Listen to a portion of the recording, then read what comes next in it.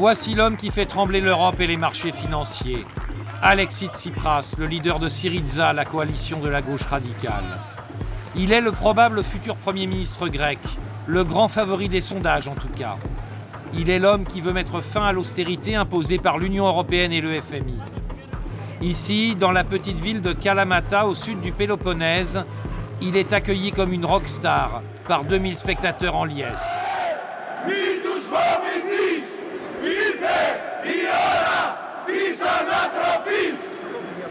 Tsipras galvanise les foules en promettant beaucoup. On va mettre fin au licenciement massif. On va augmenter le salaire minimum jusqu'à 751 euros.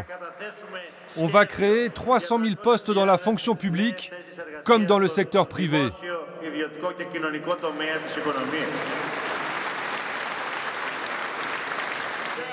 Bon courage, bon combat.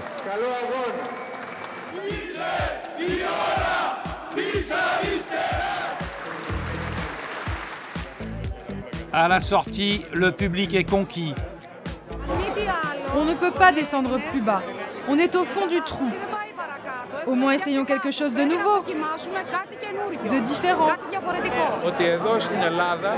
Pour la première fois dans l'histoire de la Grèce, la vraie gauche va arriver au pouvoir.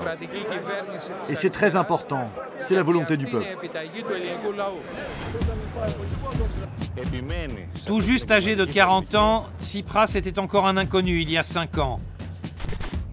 Ancien dirigeant des jeunesses communistes, on le voit ici interviewé à l'âge de 16 ans par la télé grecque, il a réussi à réunir toute une kyrielle de mouvements d'extrême gauche. Bonjour à tous. Il est l'homme qui dit non à l'Union européenne et au FMI, non au remboursement de la dette et envoie paître les dogmes de l'orthodoxie libérale. Notre peuple va envoyer un message très fort à toute l'Europe. Il n'y a pas de place ici pour la barbarie des plans d'austérité. Tsipras a la même bête noire que son ami Mélenchon, Angela Merkel. Madame Merkel n'a pas le droit de se comporter vis-à-vis de certains États comme s'il s'agissait de protectorat au service des pays créditeurs dotés d'un triple A. Tsipras est le cauchemar de tout néolibéral qui se respecte. Il ne répond que rarement aux journalistes. Surtout lorsqu'on lui rappelle qu'il est la hantise de l'Europe.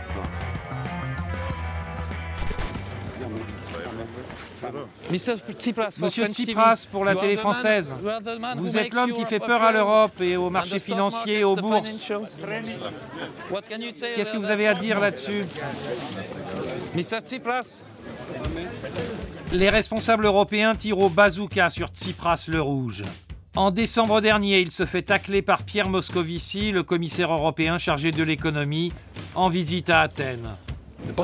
Pour la Grèce, ne pas rembourser son immense dette serait suicidaire.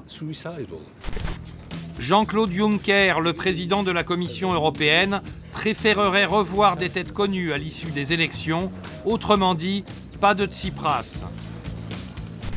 Angela Merkel, quant à elle, aurait déclaré, selon le journal Le Spiegel, que si Tsipras gagnait, il faudrait peut-être faire sortir la Grèce de l'euro.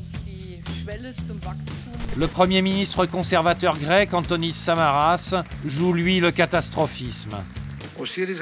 L'arrivée de Syriza au pouvoir serait un accident qui ne doit pas se produire.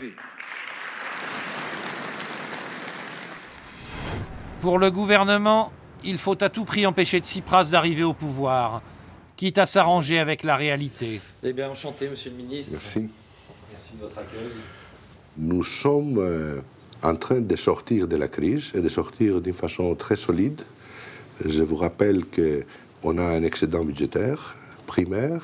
Il n'y a pas de doute que le pays est rentré dans une dynamique positive si il n'y a pas de bêtises euh, qui sont faites au niveau politique. C'est-à-dire qu'en fait, vous êtes en train de dire, si je comprends bien, c'est pas tellement le moment de, de vouloir le grand changement, qu'il faut consolider les efforts qui ont été Ce faits. n'est pas du tout le moment de mettre en cause tous ces acquis qui ont été les résultats de sacrifices énormes. OK, élection, c'est la démocratie. On est un pays démocratique, on respecte euh, le vote du peuple, mais il faut que le peuple sait très bien quelles pourraient être les conséquences d'une vote ou d'une autre. Mais le peuple grec est loin de voir le bout du tunnel et la situation sociale est catastrophique. 30% des Grecs sont au chômage, plus d'un jeune sur deux, 30% également en dessous du seuil de pauvreté. Les retraités et les fonctionnaires ont perdu la moitié de leur pouvoir d'achat. De plus en plus de Grecs ne parviennent plus à se soigner, la malnutrition et les soupes populaires sont apparues. Régulièrement, la révolte gronde et les manifs anti-austérité sont violentes, tournant souvent à l'émeute. Dans ces conditions, les paroles rassurantes du ministre n'ont aucun poids auprès d'une partie de la population ou des militants de Syriza. Marché de Kypseli, un quartier populaire d'Athènes. Les militants de Syriza sont en campagne.